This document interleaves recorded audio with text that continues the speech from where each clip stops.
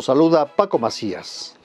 Hoy vamos a recordar a Ofelia Gilmain. Fue considerada la primera dama de la escena en México. Su brillante trayectoria artística la convirtió en maestra de varias generaciones de histriones y en leyenda de la actuación. Llegó de España y se naturalizó mexicana. Repasemos parte de su vida y su obra.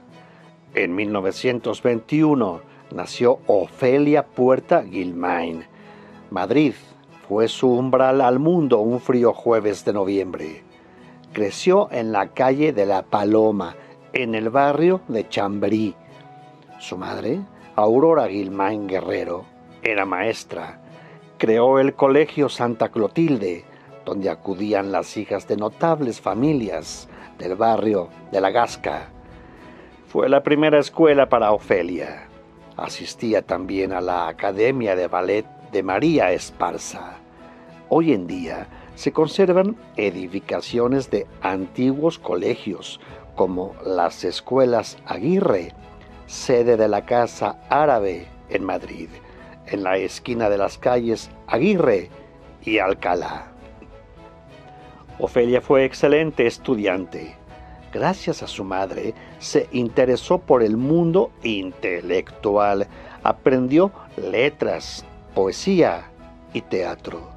Su padre, Pedro Puerta, representaba en el hogar una figura ausente, ya que abandonó muy pronto la casa familiar.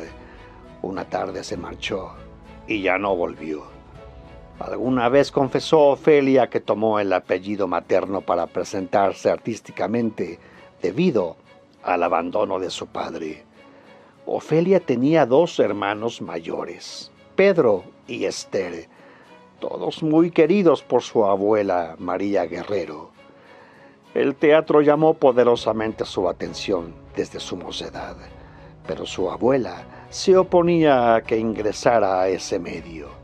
Sin embargo, Ofelia no dio marcha atrás. Fue mujer de carácter. Siendo muy joven, formó parte de una compañía llamada Las Guerrillas del Teatro, que era un movimiento cultural surgido en la época de la Guerra Civil en España y que era un foro para el pueblo. En esas comedias actuaban muchos actores aficionados. Las vallas de Madrid aparecían cubiertas de propaganda antifascista y anuncios del teatro revolucionario durante el periodo bélico. Y es que con la guerra surgió un tipo de teatro nuevo en España y fue llamado teatro de urgencia. El Teatro Lara de Madrid fue incautado en 1936 por la compañía Altavoz del Frente, que lo transformó en Teatro de la Guerra. Y fue durante aquellas jornadas escénicas y poéticas que Ofelia Guilmain sufrió la pérdida de su hermano junto a su madre, se vio obligada a abandonar su país. Su abuela y su hermana Esther se quedaron en España. En sus memorias, recuerda Ofelia cuando huían a bordo de un camión repleto de gente. Los morteros lanzados por tanquetas resonaban en el aire. La huida fue difícil. El camino era de terracería y todo parecía terminar ahí mismo.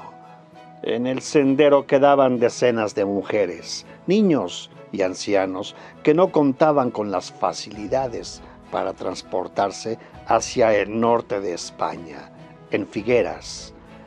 Era el año 1939, cuando el destino de Ofelia surcaba las aguas del Atlántico.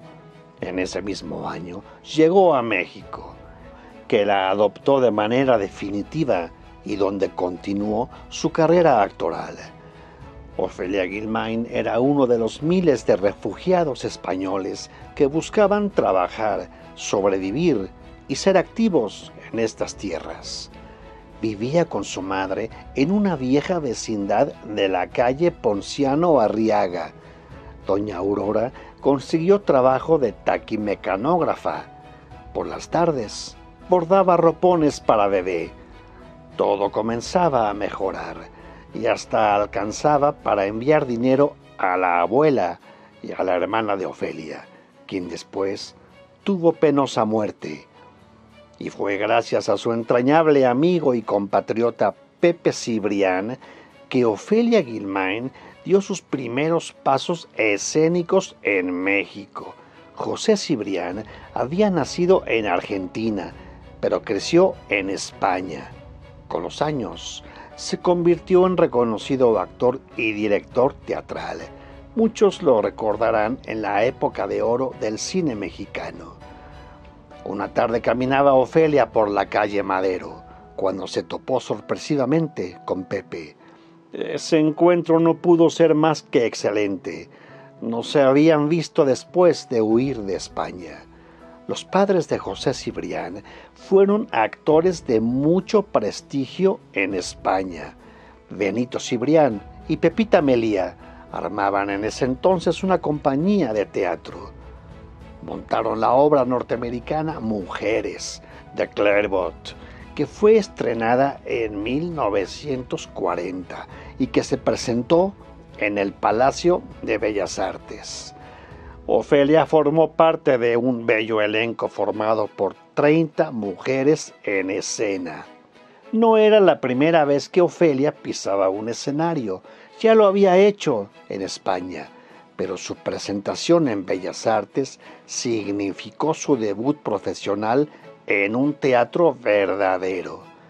En ese momento, Ofelia Guilmain descubrió su faceta cómica y desde entonces la comedia fue su fuerte, aunque su versatilidad la llevó a conquistar al público con todo tipo de interpretaciones.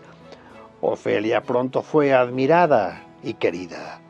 David Alfaro Siqueiros le enseñó lo mejor de la vida cultural de México y Agustín Lara la parte bohemia, lo mejor de la vida nocturna en nostálgicos cabarets como el Waikiki, el Ciros o el Patio.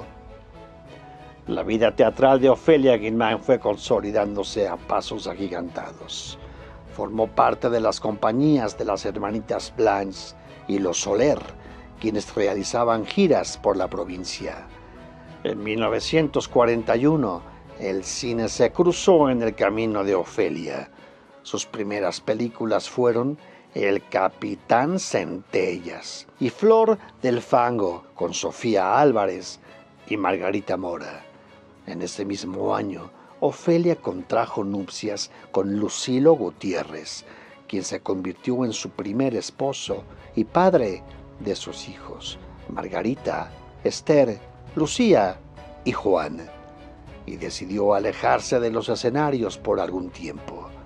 El matrimonio de Ofelia y Lucilo acabó en divorcio. La actriz volvió a casarse. Su segundo marido fue Eduardo Flores de Mesa, pero esa relación tampoco prosperó. Pero lo que sí iba viento en popa era su carrera artística. En 1958 filmó Mi desconocida esposa, al lado de la bellísima Silvia Pinal. Y en adelante, la carrera fílmica de Ofelia Guilmain fue un semillero de éxitos. Su trayectoria en cine fue intensa. Trabajó en historias de corte dramático, infantiles, cómicas y comedias musicales. Entre sus películas más significativas se encuentran Nazarín, al lado de Francisco Raval, Marga López y Rita Macedo. Esa cinta fue dirigida por Luis Buñuel. Apareció en El Ángel Exterminador, donde figura un notable reparto. En 1966 filmó El Escapulario y con María Rivas y Guillermo Murray trabaja en Flor Marchita. Cuatro años más tarde filmó ¿Por qué nací mujer? En la década de los 70 filma Las Vírgenes Locas al lado de Enrique Lizalde para servir a usted con Héctor Suárez. El juicio de los hijos con Valentín Trujillo y Blanca Sánchez. Felipe Casas la dirige en el jardín de la tía Isabel.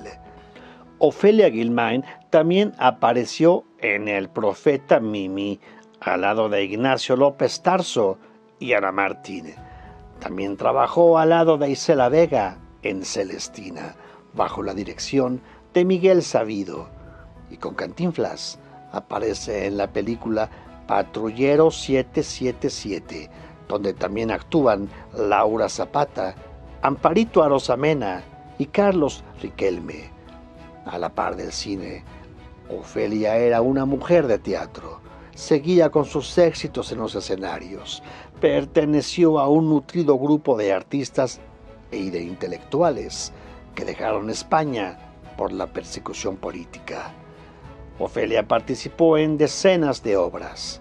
Lo mismo hacía reír que llorar y hasta atemorizar a su público. Supo transitar libremente entre lo oculto y lo comercial. Nunca se preocupó por poner en peligro su prestigio. Fue invitada a actuar en el Teatro Blanquita en una época en que estaban de moda los espectáculos de revista. Tenía un humor exquisito para hacer reír a la gente. Gracias a sus inigualables dotes histriónicas, la primera actriz personificó a todas las heroínas del teatro universal, desde Electra y Doña Inés hasta su imprescindible Celestina, pasando por Medea y su inolvidable participación en Las Troyanas. Interpretó a casi todas las reinas del teatro clásico. Ofelia Gilmain trabajó en casi 100 obras. Son muy recordadas La casa de Bernarda Alba, de Federico García Lorca, y por la cual recibió un merecido homenaje. Excelente también fue su actuación en Debiera haber obispas, estrenada en 1956 por María Teresa Montoya, y que años después tuvo otras puestas como la representada por Susana Alexander. Fue considerada la obra más famosa de Rafael Solana. Su versión fílmica se tituló La Viuda Negra, con Isela Vega, bajo la dirección de Arturo Ripstein. Y como muchos de sus compañeros artistas, Ofelia Gilmain también incursionó en el mundo del doblaje. Su singular estilo de voz no podía ser desaprovechado. Dobló a famosos personajes de cine y televisión en series como La familia Monster, Los Intocables, Un paso al más allá, Los Picapiedra, Los Supersónicos, muchas más. Curiosamente, en 1958, Ofelia Gilmain vivió en una casa ubicada en la calle Porfirio Díaz, 195, en la colonia del Valle, donde tiempo después se instaló inicialmente la empresa de doblaje de voz cinematográfica interamericana. Otro de los medios donde el público también recuerda con mucho respeto a Ofelia Gilmain fue la televisión. Ella fue pionera de las telenovelas. Trabajó al lado de Ángel Garaza en teleteatros. En 1967 figuró en Lágrimas Amargas. Después, con Amparo Ribelles, compartió créditos en Doña Macabra, que tuvo su versión fílmica con Carmen Montejo y Marga López. En adelante, Ofelia apareció en una veintena de melodramas. Difícil sería recordarlos todos. Por citar algunos títulos, se encuentran Yesenia en su versión ochentera y protagonizada por Adela Noriega y Luis Uribe. En La Antorcha Encendida trabajó al lado de su hijo Juan Ferrara, con quien ya había alternado años antes en la telenovela La Gata. Ofelia Gilmain tuvo tiempo suficiente para ser actriz y pilar de una hermosa familia. Ella siempre decía, la vida que no se vive, no vale la pena vivirla. La actriz aprendió a fumar desde los 14 años y lo hizo por muchos años más. En diciembre de 2004 fue internada para recibir tratamiento por una afección bronquial que padecía esporádicamente. En enero del año siguiente, convalecía en su casa de la Ciudad de México.